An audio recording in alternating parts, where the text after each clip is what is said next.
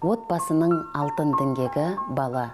Баланың тәрбиелі болып өсуіне берекелі отбасының әсері мол. Отбасының әрбір мүшесі өзара сөйлесіп не болмаса ата ананың баланың міндетін атқару ғана емес береке бірлік сүйіспеншілікпен араласса босағасы берік шаңырағы биік отбасына айналары сөзсіз. Ата мен ана бала тәрбиесінің қамқоршысы өнегесі. Ата асқар тау ана бауырдағы бұлақ бала жағасындағы құрақ деп ата ана мен баланы табиғаттың тамаша құбылыстарына теңеген халық мақалына қайран қаларсың.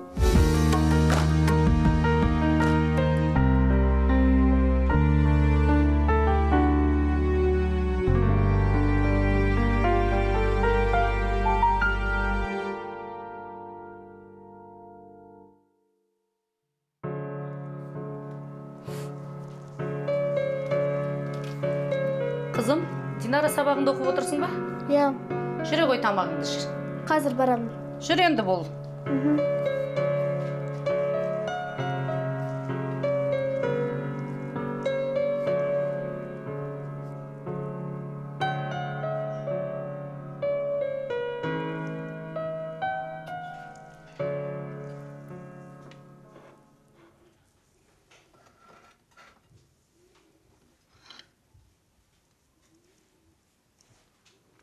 сабағыңды оқып тастадың ба? Иә оқыдым. Дұрыс. Сабағыңа көп көңіл бөл. Емтиханың да жақындап келеді. Той анашым білемін. Кішкентай бала емеспін ғой. Білгенің сол ма? Күндіз түні телефонға шығыш жасыңда отырасың. Өшір андағы телефонды. Ой анашым. Әркіммен бір сөйлескенше шайыңды іш. Әркіммен емес әкеммен сөйлесіп отырмын. Әкең бар болсын сенің. Қашанғы кішкентай бала сияқты айта бересіз? Мен не істесем де өзім білемін ғой. Білгішін қара қойыңызшы. Сөз қайтарма маған сен қыз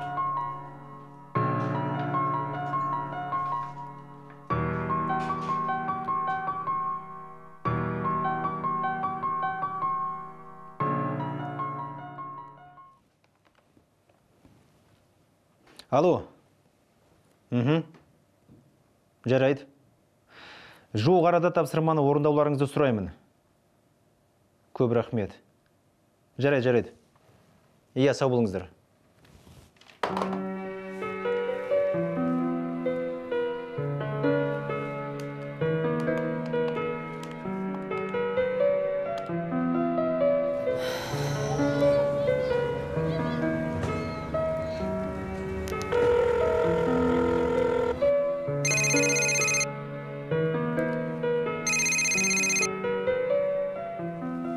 Алло? Қалың қалай? Жұмыстасың ба? Иә есеп жүргізіп отырмын. Өзіңнің қалың қалай? Жаман емес. Сен бос болсаң бүгін кездесейік деп едім. Бүгін бе? Иә. Кездесейік кездесейік. Жарайды. Жақсы.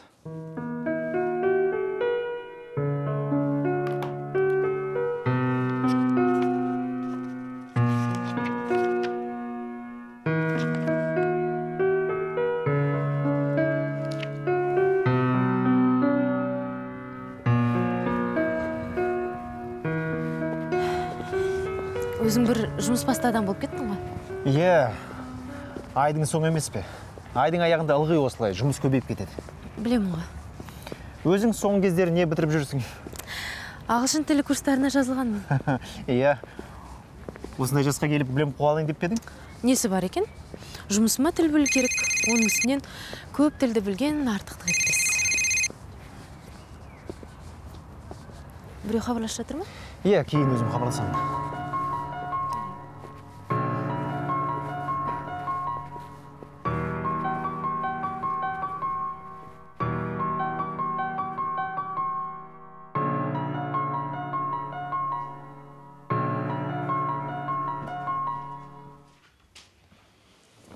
Анашым. М? мен ертең кешке достарыммен қыдырып келсем бола ма? Сағат нешеде? Тек тым ұзақ болмасын. Сіз де қызықсыз. Барлығы кешкі уақытқа жиналып жатса мен не істеймін? Барлығы не істесе сен де соны істейсің бе? Одан да бармай ақ қой. Қалай бармаймын? Мен кішкентай бала емеспін ғой. Ана болған соң алаңдаймын да енді. Ертең сен де ана болғанда мені түсінесің. Қойыңызшы сіз ғана сондай шығарсыз. Сөз қайтарма маған.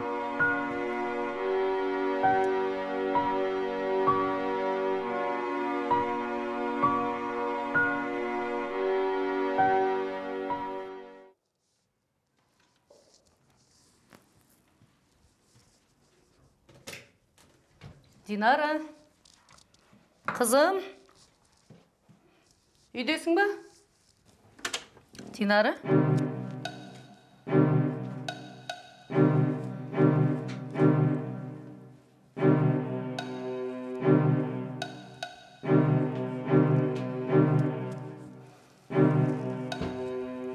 Сен қызға көрсетпесең осы.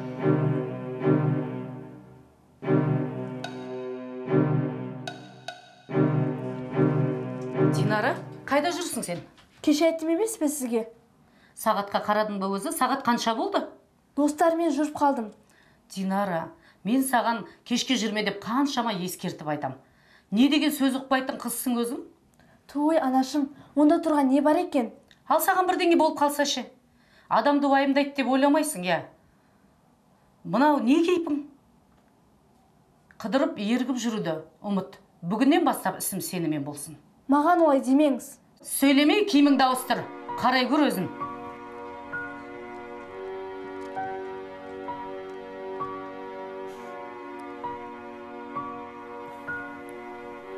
алло иә қызым әке қызым не болды жылағансың ба иә анаммен ренжісіп қалдым қой жылама әке кездесейікші жарайды бірақ сен жылама көңіліңді түсірме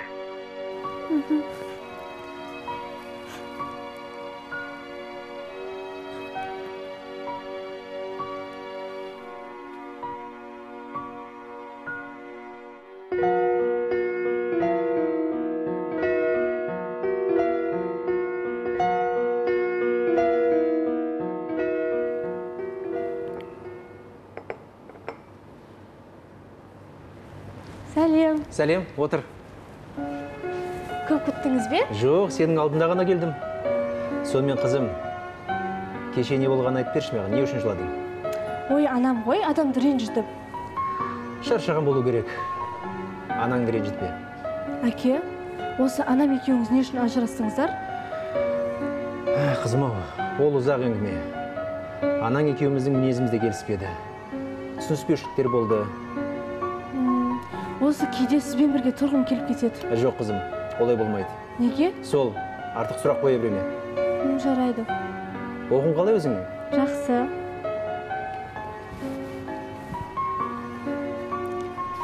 Мә мынаны ал. Керегіңе жұмсарсың жарай ма? Рахмет. Қарның ашты ма? Әйтеуір мен өзім тамақ ішпеп едім. Аздап. Олай болатын болса тапсырыс берейік. Даяшы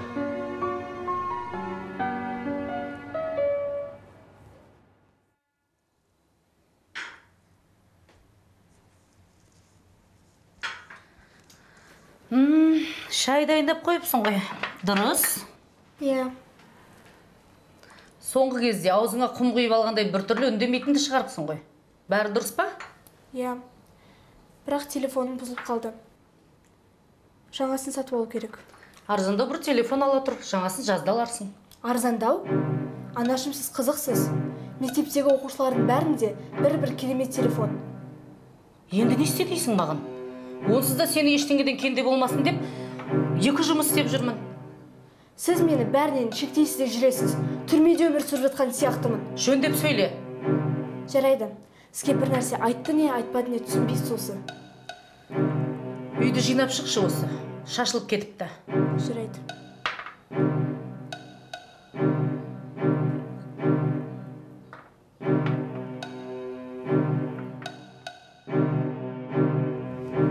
Бүгін ерте шықтың ғой а? Тұру керек? Мен кешіккеніме әбден ерін қалыпсың. Әрине. Жібек. Ал не болды? Біз осы қашан үйленеміз? Саған не болған? Сұрақты төтесінен ғой үйленсек барлығы басқаша болады дегенім ғой. Той болады. Барлығы өз уақытысымен болады. Осылай қашанға жүре бермекпіз жібек. Асықтырмашы енді. Жарайды жүр көлікке. Айсұлу анаммен тағы сөзге келіп қалдым. Ұялы телефон үшін бе? Иә анам мен еш түсінер емес. Ал сен анаңды түсініп көр. Қойшы айсұлу өзің де білесің ғой сыныптастарымның бәрінде бір бір керемет телефон. Солардың арасында маған бейшара сияқты жүр деп тұрсың ба? Білмеймін енді. Барлық мәселе телефонға келіп тірелмейді ғой. Иә мен де өзге сыныптастарым сияқты болғым келеді. Бір шетінен сені де түсініп тұрмын құрбым. Айсұлу менің басыма бір керемет ой келді. Қандай? Сосын білерсің.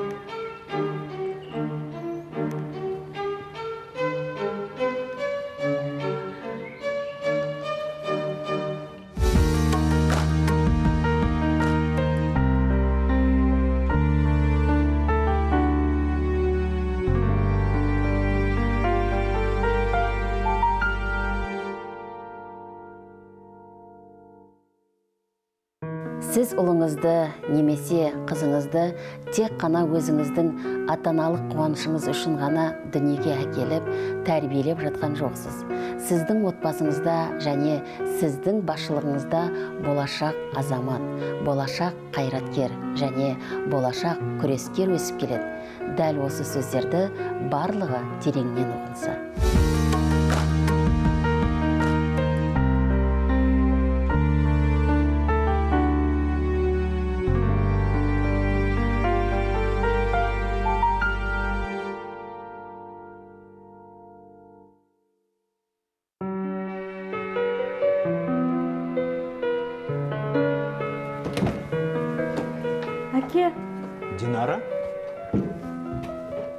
мұнда не істеп жүрсің? Сізге бір айтарым бар еді. Қызым егер мен саған керек болсам алдымен хабарласпайсың ба? Екінші рет кеңсеге келмей жүре ме? Біреу біреу көріп қалса? Кім? Маңызды емес. Одан да айт не болып қалды? Әке сізге не болған? Ештеңе қызым. Біраз шаршадым. Сонымен айт не болды? Әке менің ұялы телефоным бұзылып қалды. Жаңасын сатып алу керек. Анам айтсам қымбатын алып бере алмаймын деді. Е мәселе сонда десеңші. Олай болса аламыз жаңасын. Алақай әке ол бірақ қымбат тұрады. Ол жағынан еш қам жеме.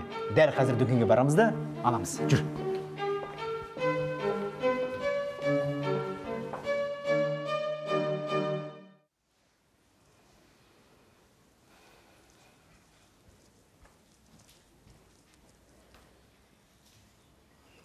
Динара анда кімдікі менікі.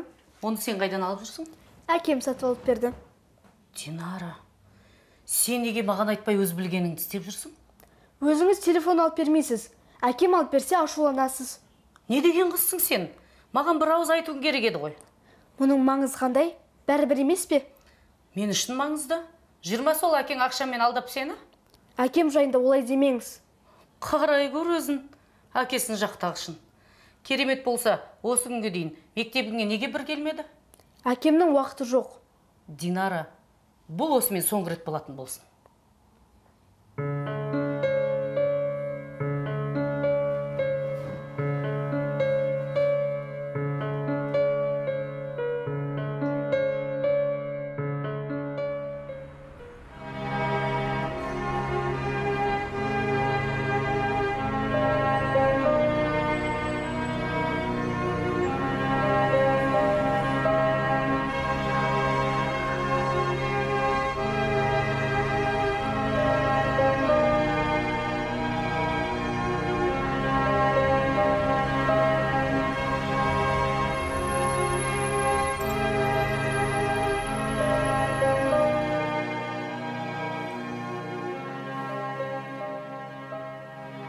Сәлем қызым сабағың қалай?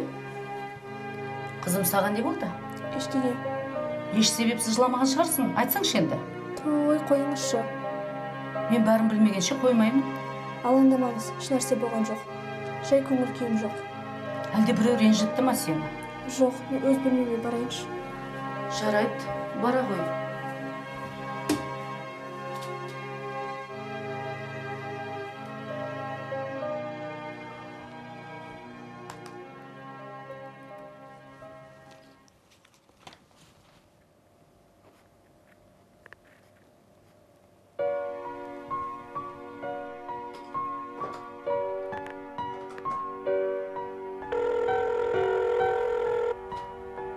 Алло мадина барлық құжаттар осы ма? Иә. Мен түстен кейін орында болмаймын. Сондықтан қол қоятын құжаттар болса бәрін алып кел. Жарайды. Одан кейін біреу хабарласса маған айт. Жарайды. Жақсы.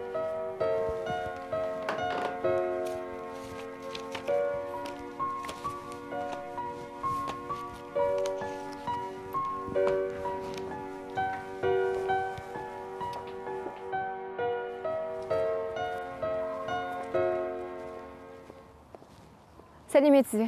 Айсұлу қалың қалай? Жақсы. Сені кездестіргенім қандай жақсы болды? Сенен бір нәрсе сұрайын деп едім. Иә не болып қалды? Айсұлу сен динараның ең жақын құрбысысың. Оны жақсы білесің. Менің қызымдайсың. Айсұлу соңғы кездері динараға не болып жүр? Көңіл күйі мүлдем жоқ. Бөлмесіне кіреді де шықпай қояды. Өзінен сұрап көрмедіңіз бе? Сұрап көрдім бірақ айтпайды. Айсұлу өтінемін сен білесің ғой. Айта қойшы. Жарайды бірақ динараға бұл жайында тіс жармаңыз. Уайымдама айтпаймын. Мектепте мұғалім динараға өте қатты ұрысты онымен қоймай өзге сыныптардың көзінше дауыс көтерді емес пе? Әрине бұл динара үшін ауыр болды. Не үшін ұрысқан сонда? Мектебімізде бір қатал мұғалім бар. Сол кісінің сабағынан білмей қалған еді. Енді бәрі түсінікті болды. Оның үстіне динара әкесімен де араласа алмай жүр. Ол көңіл күйін түсірген шығар. Өтінемін динара бұл жайлы білмей ақ қойсыншы. Уайымдама айсұлу. Алаң болма. Айтпаймын. Рахмет саған. Сау бол. Сау болыңыз.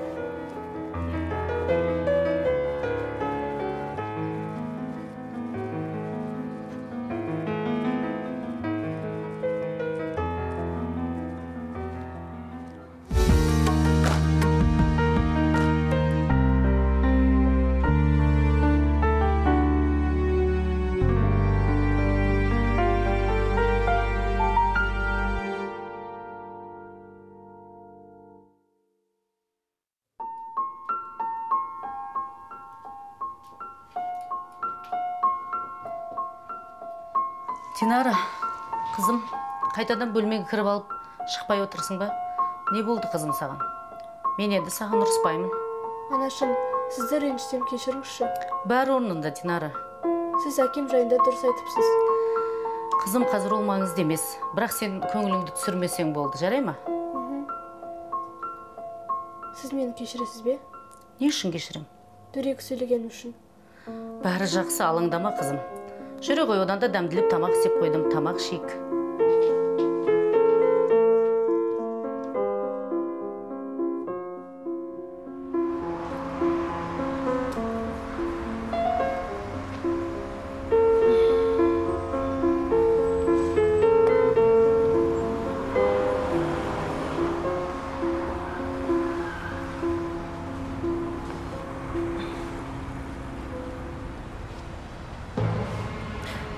Сенікі жай ма жек көремін сізді. Сен кімсің? Әкем де сізді жек көреді соны білесіз бе? Түсінікті. Кім білген болатын сен сияқты есі дұрыс емес қызы барың сен маған байқап сөйле. Алда жақын туыс болып қалуымыз мүмкін. Ешқашан мына қыздың расымен есі ауысқан екен. Сенің әкеңде ақшасы болмағанда сен сияқтылармен туыс болмас едің. Жек көремін сізді. Жек көремін осы сөздің бәрін әкеме айтып беремін.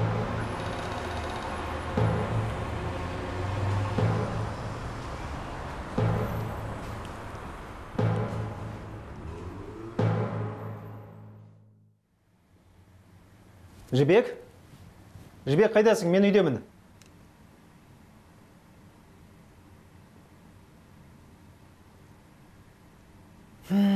Болады ұмыт мені.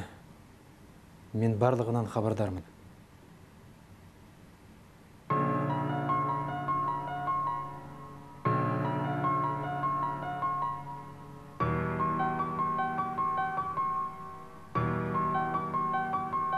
Мен кім үшін олай істедім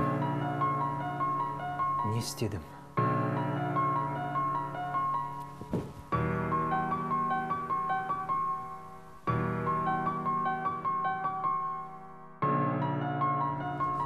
бүгін ерте шықтың ғой а?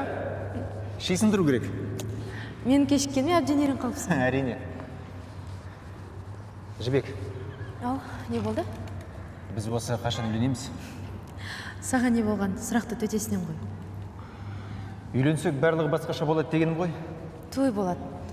Барлығы өз уақытысымен болады. Осылай қашанға жүре бермекпіз жібек. Асықтырмашы енді. Жарайды жүр көлікке.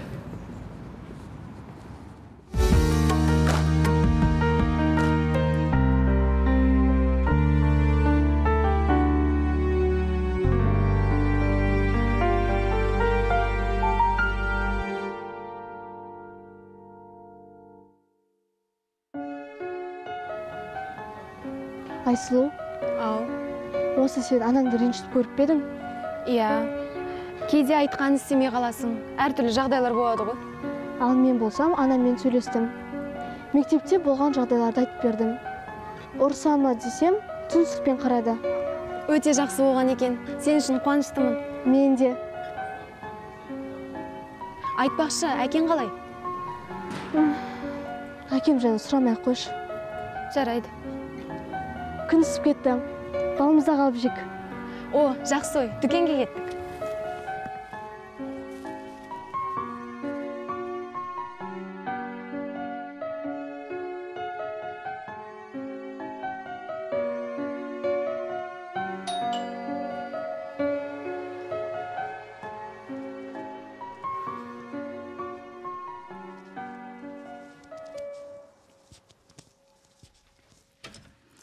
сәлем қызым сабағың қалай? Не болды қызым? Ештеңе. Еш себепсіз жыламаған шығарсың айтсаңшы енді. Ой қойыңызшы. Мен білмегенше қоймаймын. Сіз қанша сұрасаңыз да айтпаймын. Неге қызым? Алаңдамаңыз ешнәрсе болған жоқ. Жай көңіл күйім жоқ. Жоқ әлде біреу сені ренжітті ме? Жоқ мен өз бөлмеме барайыншы. Жарайды онда бара ғой.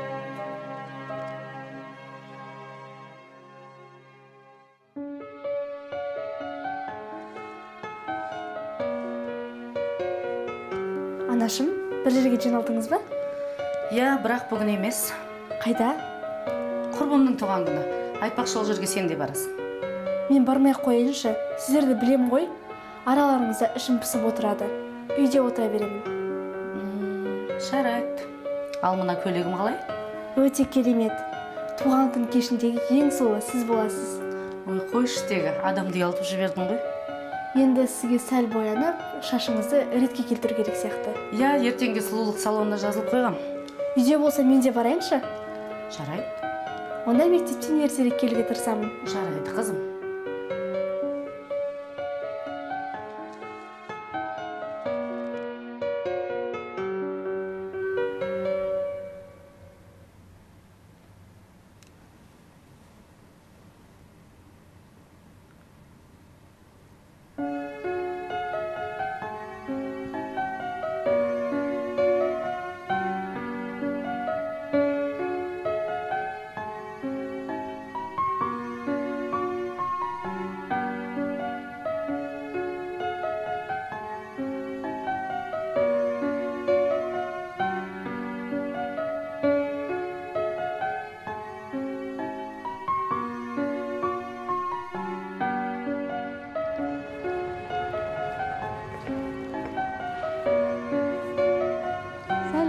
Сәлем отыр.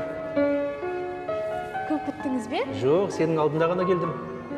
Сонымен қызым кеше не болғанын айтып берші маған не үшін жыладың? Ой анам ғой адамды ренжітіп шаршаған болу керек. Анаңды ренжітпе әке осы анам екеуіңіз не үшін ажырастыңыздар? Қызым ау ол ұзақ әңгіме. Анаң екеуміздің мінезіміз де келіспеді. Түсініспеушіліктер болды. Осы кейде сізбен бірге тұрғым келіп кетеді. Жоқ қызым олай болмайды. Неге? Сол артық сұрақ қоя берме жарайды. Оқуың қалай өзің? Жақсы.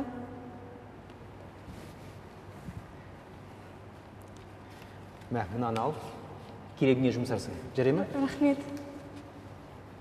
Қарның ашты ма? Әйтеуір мен өзім тамақ ішпеп едім. Аздап. Олай болатын болса тапсырыс берейік. Даяшы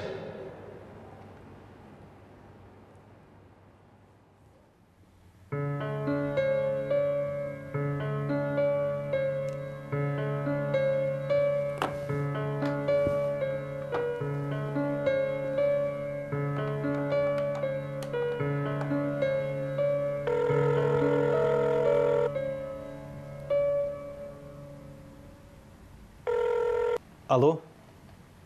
Алло? Болат иә бұл мен не болды не үшін хабарластың? Сәуле қалың қалай? Сенікі қызық екен. Жайшылық па? Менде барлығы жақсы. Э, өзің көріп отырғаныңдай э, хабарласып отырмын. А сені динараны хал жағдай алаңдатқан шығар. Олай болса динарада барлығы жақсы. Тек оған артық ақша беріп еркелетудің еш қажеті жоқ. Ә, сәуле тоқташы. Динараны енді ақшамен алдап қоямын деп ойлаушы болма. Не деген әкесің өзің?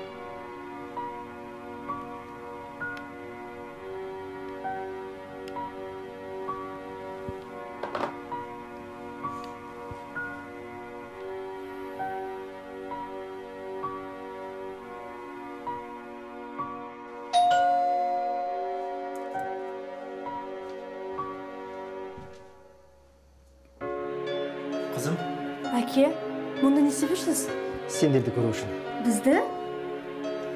Әкем келді. Анашым рас айтам әкемді мен шақыртқаным жоқ. Білемін қызым. Сәуле кіруге болады ма? Келген екенсің. Кір.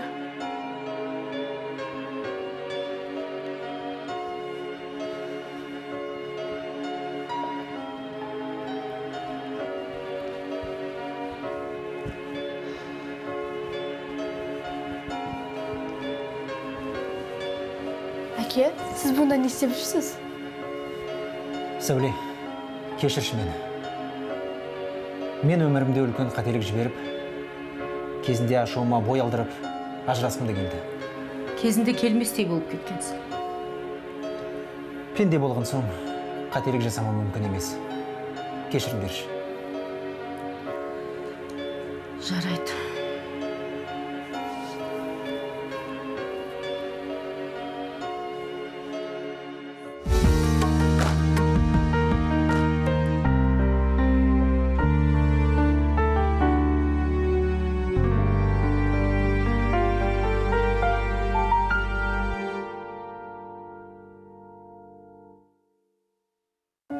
қазақ халқы отбасындағы тәрбиені ең бірінші орынға қойған.